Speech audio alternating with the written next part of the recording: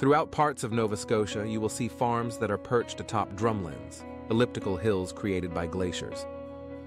Massive glaciers have flowed over this land several times.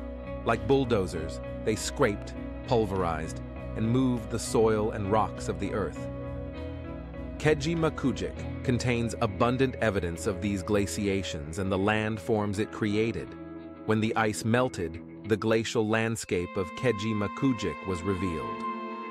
Your visit to Kejimkujik is still being influenced by events that happened many thousands of years ago.